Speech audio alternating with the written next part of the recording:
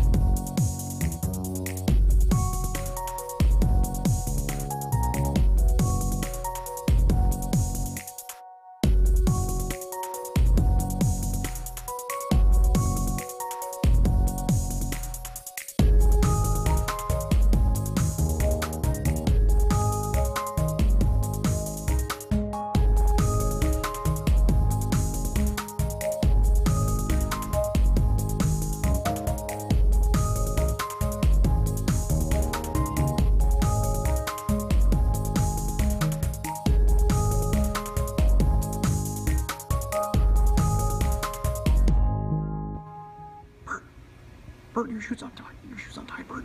Oh, thanks, Ernie. Ernie!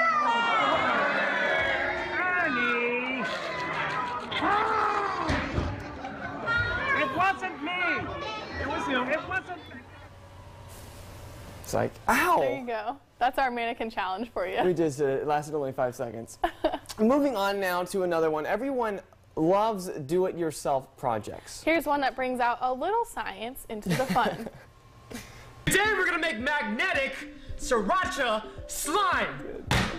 Let's do this! Okay, we're gonna need some sriracha and some glue and some iron filings, filings, and some borax and some magnets. First things first, you wanna pour your glue into a container and then add some sriracha. You see, I was trying to make a smiley face with the sriracha, but for some reason, nothing can come out of it. So pretend this is a smiley face, okay?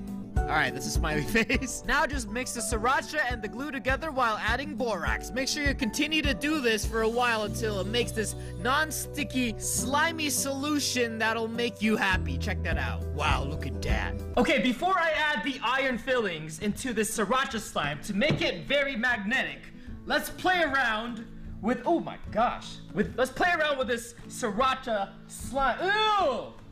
Look at this. I would, I was like expecting it to be really red like the sriracha bottle, but I guess the uh, the white glue kind of diluted with the red, which makes it a little bit pinkish brownish.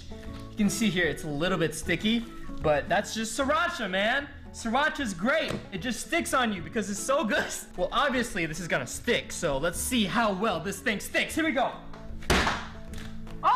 That's not bad. It didn't really stick. The only thing that stuck was this little piece right here. Wow. Let's do it again. That's not bad. I thought it was stickier than it is. All right, wow, that's great. Let's put it right here. See, look. Is it gonna stick? Nope. It's not gonna stick. All right, here we go. Now it's time to add the iron fillings. Put this all around. Oh my gosh. Make sure you don't inhale this. This is what makes it very, very magnetic. Kind of just mix it around. You gotta roll it, and then you gotta you gotta knead it like this. All right. I think we gotta add a lot more. So let's put some more. Alrighty. Add some more fillings here. Kind of just mix it around. Mm-hmm. Yeah, you like that? Yeah, knead it like this, like that. Mm. Let's try it out. I have here some magnets, as you can see. Let's see if it, uh, you know, magnates. Come on. Oh, look at that! Look at that! It's moving! It's moving! The slime is moving! Oh! Oh! Alright, I used up a lot of the bottle, not all of it, but as you can see, it turns really, really dark.